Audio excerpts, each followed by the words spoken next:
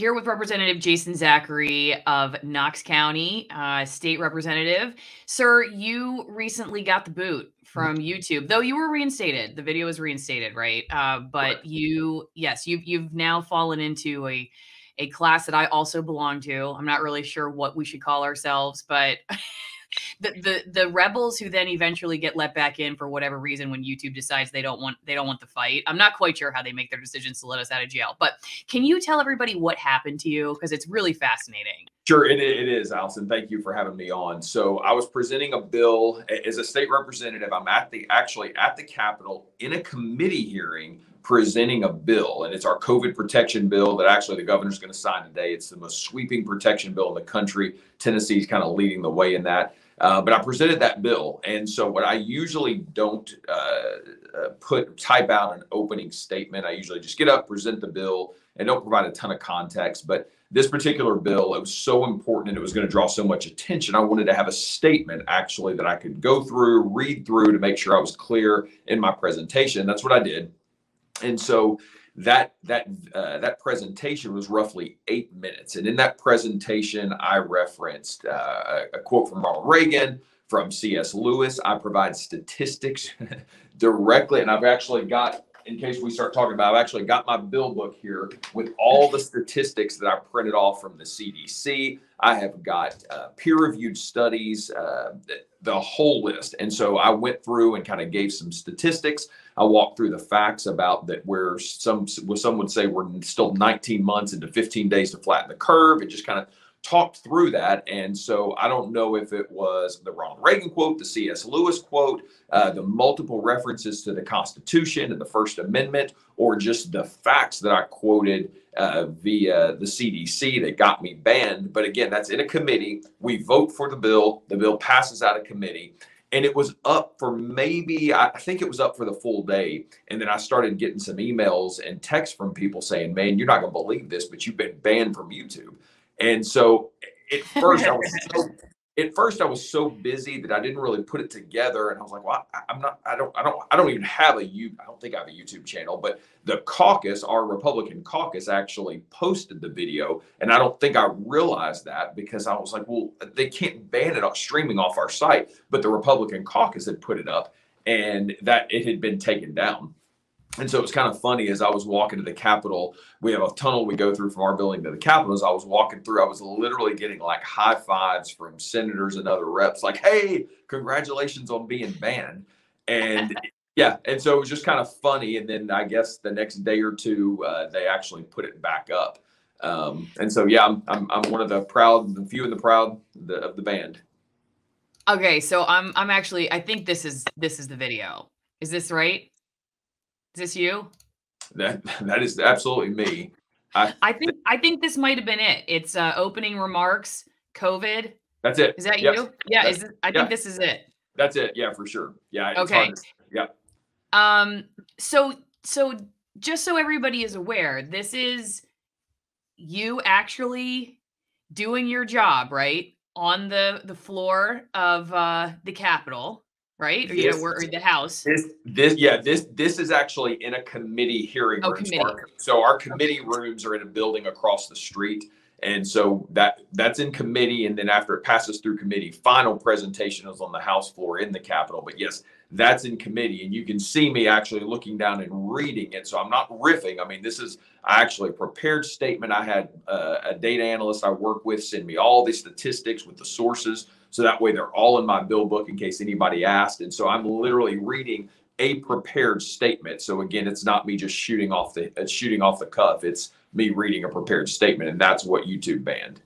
Well, and and it's just the other thing. Even if you weren't, even if you were just riffing, you're you're in the act of doing your job as a state representative. And what's been fascinating to me as a, a, former broadcast journalist, now independent media type on YouTube, is that if if somebody like me tries to actually cover history, like I'm going to cover your presentation regardless of of what it is that you say. I'm sorry no offense to your profession or anything but if we were to start just slicing politicians from social media for misinformation i don't know how many of you guys would be left at all anyway. And so it's just interesting how we pick and choose.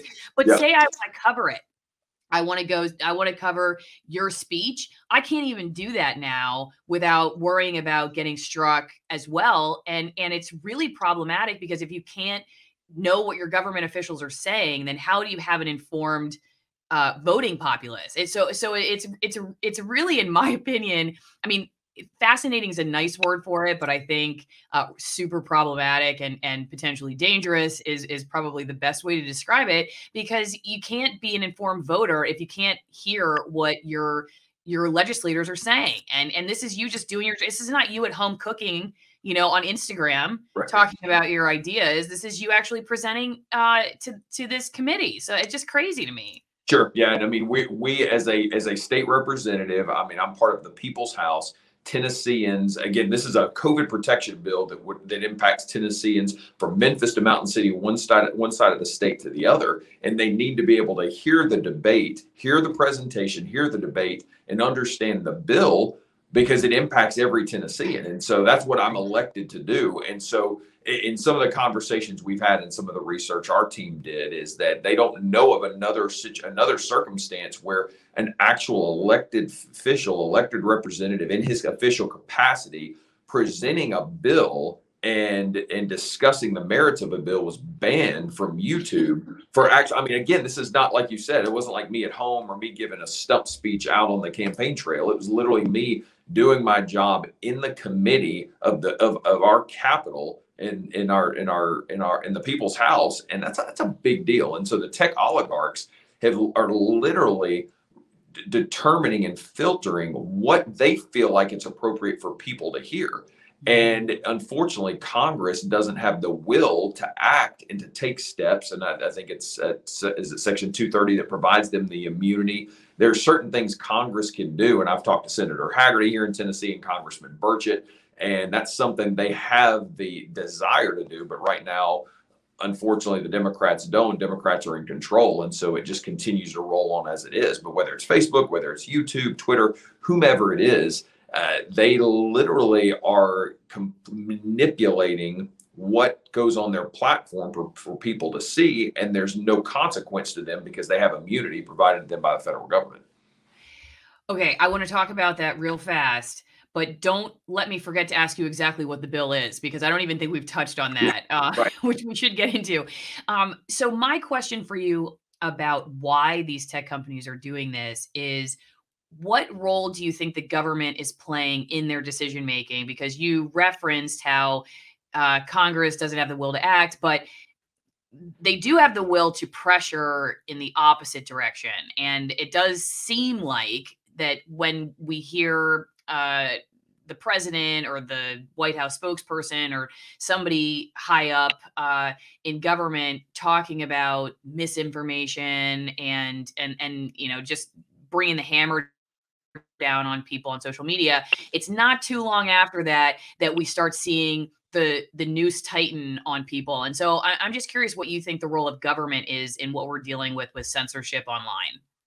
Yeah, and it, it, it is it's a delicate balance to watch because uh, to walk, and obviously, me being a Republican, a very conservative Republican, I feel like government's role is to maintain a framework of ordered liberty. I mean, we literally have a framework we work in, but uh, to to put a, a an importance on individual liberty, freedom, unalienable rights, separation of powers, the principles of our founding is literally what I took an oath to do. And so you walk a very fine line but as I've told people before, there's certain things we vote on and steps we take based on what previous legislatures did before I ever got here. And so that's that's very similar with what Congress is dealing with when it comes to these these tech companies. And again, I believe it's 230 that provides them the absolute immunity where they can basically do whatever they want to, and there are no consequences for them. They can pull off accurate information. They can censor Dr. Robert Malone, who's the uh, the invent, inventor of the mRNA vaccine, and they can take that information and they can decipher it and filter it in whatever way they see fit. And in my opinion, in certain cases, spread misinformation by the way they edit, delete, and control. And in doing that, they're they have complete immunity. And if that were not the case, if they did not have that blanket immunity, they would have to conduct themselves differently. So Congress put that in place under section, again, I think it's 230, under Section 230. And all Congress would have to do is take the step to remove some of that protection. It will completely change the way they go about doing their business, just like I'm a business owner, just like me as a business owner, when government changes laws or provides COVID business immunity or whatever it is, it changes the way my business operates. It would be the same thing with these tech oligarchs. But part of the problem is the political will to be, we're, we're a nation of political will, the political will to be able to do that is not there and it hasn't been there. And again republicans were in power. Republicans could could could have taken that step when we were in power but we chose not to. Democrats are in, in uh, power now without thinking about the fact that the pendulum will probably swing in 2022 it may swing significantly in 2024 so if they were wise they would take those steps because when the republicans are in power it does soften some because republicans control uh, government. And so it's just this pendulum that continues to swing and Congress, unlike many state legislatures, do not have the political will to act because they always want to get reelected. That's typically what they're what they're there for. Before we get to the rest of this video, don't forget you can support my work by also checking out my sponsors and having a glass of wine or a cup of coffee in honor of free speech. The first is AlisonWinePromo.com, Alison with one L winepromo.com. You get 50% off of my favorite Argentinian Malbecs and 50% off of shipping. They have switched out the three bottles from the last pairing, so check them out. Many of these are high altitude wines. They're very robust. They use no flavoring, no filtering, no dyes, and no excess chemicals. But if you need something to wake you up, like a strong cup of coffee, check out twinenginecoffee.com slash Alison, twinenginecoffee.com slash Alison. They've got a wide variety of roasts. These are high altitude, shade grown Nicaraguan coffees that are also USDA certified organic. They also do a lot of great work to help prevent sea turtle nests from being poached. You can support their work by also going to twinenginecoffee.com slash Alison and become a sponsor. And they'll even show you video of when the sea turtle nests that they're protecting are hatched. So check out my sponsors and support free speech wherever you are. So the counterpoint to the remove Section 230 argument is that it would make it harder for smaller platforms to allow for the speech that they have now become the refuges for, uh, simply because it opens them up to litigation. And so the question would be if you took Section 230 away, would they actually Eh, would you get what you don't want in that you'd have these bigger companies who have the the financial support and the ability to have massive legal teams and then would they even they clamp down on speech more because they're like well now we're responsible we can be sued for what we put out there and so we're going to be even more restrictive and then the smaller companies are like well we can't compete at all anymore because now we also just we just don't have the resources. I've, I've heard people push back on the on the section 230 uh, argument in that way i know that i'm on other platforms like Rokfin, for instance. And I know they say specifically if Section 230 were just flat out removed, that they would have a very difficult time continuing. So, so I don't know. I, I definitely think their their solution needs to be uh, uh, uh, found that there, this this problem needs to be addressed. I just I don't know. I don't know what it is. I I, I hear I can hear the other side too, and and I would be concerned. Um, I'm sure you can appreciate this as somebody who uh, works on lawmaking. That sometimes you have good intent and then you get an unexpected outcome, and so it it seems like an ecosystem that needs a delicate uh, change, but I'm not quite sure exactly what that is. Um, can you tell me about the bill itself before we sure. wrap up? Yeah, absolutely. So it is a sweeping COVID protection bill. Um, does a few things. It bans any governmental entity from requiring uh, proof of vaccination. It bans any governmental entity from requiring a business to show, show proof of vaccination. It bans any governmental entity from requiring masks, state and local. Uh, it prohibits anyone from requiring proof of vaccination, period. So we took the step because the Biden administration has weaponized the free market against the people with the OSHA rule, with the CMS rule, with the federal contractor rule. We felt like we had to take a step to protect Tennesseans and protect their livelihood. And so we did that with this bill. It simply says that you can't require proof of vaccination. An employer can't say that employer doesn't ask to see your flu vaccine, your polio vaccine proof, your rubella, whatever it may be. And but now we're doing this with COVID, and we're simply we're saying that people can't work if they don't have a COVID vaccine. And so we've stopped that in Tennessee. That law actually is going to be signed today by the governor. He announced Um, so that'll go into effect today. Uh, we did a couple of different things with right to prescribe, allowing a doctor to freely prescribe and dispense medicine for COVID 19 at his discretion without fear of having his license license revoked. Uh, we actually uh, added anti-commandeering language. This is a big deal. Uh, it's basically 10th Amendment through and through, where we say that no uh, no state resources, whether that's money, whether that's facilities, people, uh, cars, can be used to facilitate a law, rule, or executive order from the federal government related to COVID 19 countermeasures. If they want to continue to take this and overstep the constitutional framework that they're supposed to operate in, then they're going to have to come to Tennessee and do it themselves. Uh, there, a big deal is a right not to die alone. Uh, we put it, we put that in our legislation, as many people know around the country that um, uh, because of COVID, many facilities, it doesn't happen much in Tennessee, but many facilities were not allowing their loved ones to be with those who were dying in the last days of COVID. And so we stopped that, making sure that every facility has to provide a loved one access to uh, to their loved one who is uh, passing away. Uh, we've got something called a mature minor doctrine in Tennessee, and so we ensured that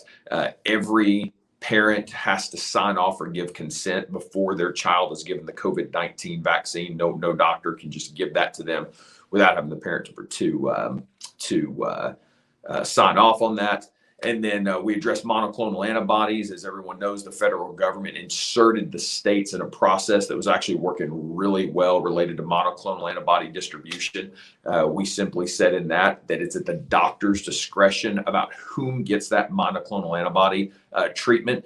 There was some guidance that came out from the NIH that said you had to prioritize this group over that group. Again, taking the the decision out of the doctor's hands. So we made sure that doctor had the, had those decisions. And then uh, finally, and I think I've hit all the high points. Finally, um, we provide a cause of action. So if someone, you don't have to show proof of vaccination anymore in Tennessee, but if somebody, if somebody mandates the vaccine and you feel compelled to do it just because they're asking you to, and you have an adverse reaction from that uh, vaccination, then you have a cause of action against that employer because they force you to do it. So the intent of that is to hopefully the businesses won't even mandate the COVID 19 vaccine because, as the CDC director said on August 5th, it does not stop the transmission of the virus. I you've got my Twitter account there. I think it was the Netherlands. Uh, the uh, uh, the numbers were out today. 85% of that country is vaccinated, and they're having a massive spike. Vermont, same thing, highest vaccinated state in our country, uh, having a massive spike. So the vaccine does not stop transmission, and so we've lost our minds, and we've literally lost all common sense forcing this vaccine on people, not even taking into account natural immunity or certain reasons that they don't get the vaccine. It's a personal choice. We've never done this with the flu vaccine or anything else. Um, so that's that's those are the highlights of the bill. I maybe missed a thing or two, but that's basically the uh, the framework and the nuts and bolts of it. And hopefully the governor the governor's going to be signing that this afternoon. And Tennesseans are much better off individual liberty and freedom are protected and preserved in a, in a, much greater way, much greater way related to COVID 19 in Tennessee with that bill passing. Last question, because I had thought about this and have had people bring this up to me. And so I'm glad I get the chance to ask somebody in your position. If someone says, hey, you set out to protect businesses from government overreach but are you doing the same thing by saying hey if i'm a business and i want to do this I, i'm not being forced to i want to mandate it that now the government's telling me i can't how do you respond to that?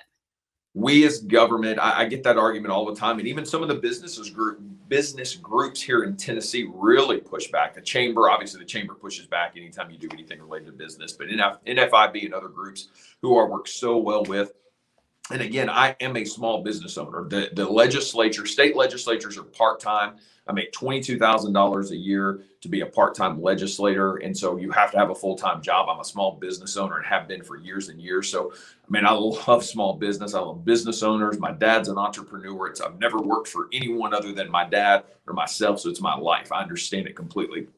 But I also know in running a business, government puts so many restrictions. Even here in Tennessee, there are so many things businesses have to do or required to do, mandated to do by government. So sometimes when you take steps like what we just took, you get the pushback that you just referenced from these business owners. Well, government shouldn't be telling me to do this. I can do this. Government needs to stay out of my business. Well, Unfortunately, in 2021, government is involved in, in all business. Now, Tennessee is very different than California, New York, or Illinois. And that's why we're one of the top five states economically in every category because we try to limit government, we limit regulation, and the burden we place on business.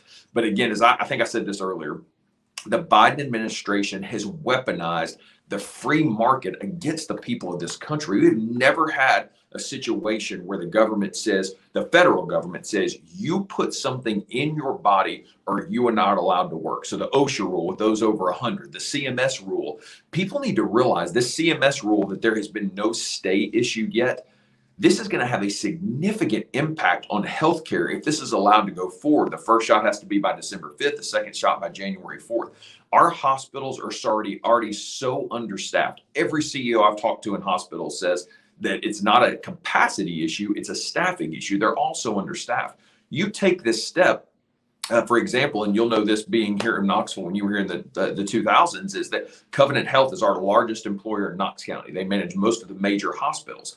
Roughly 30% of their staff is not vaccinated. Many of them have already had COVID. Many of them are young women, nurses, who don't want to take the shot because they have not had kids yet. And no one can tell them for sure that it won't have some sort of adverse effect or impact. Well, when this mandate goes into place by December 5th, many of those nurses are going to walk. That is going to create a significant a, significant a significant impact on the quality of care these facilities can provide, and that's just not just in Knox County. That's in that's across the nation. Again, uh, you literally have a rule that is that is going to significantly cripple the healthcare system in many areas because you're going to have many of these doctors and many of these nurses leave for whatever reason because they don't want to get the vaccine. So that is the danger in these mandates. And so back to your original question, when the federal government, the federal government, the Constitution tells the federal government what it can do, enumerated powers, it puts a strict box around them. The constitutions of our states basically have to limit what states can do because James Madison wrote in Federalist 45 the powers provided by the Constitution to the federal government are few and defined.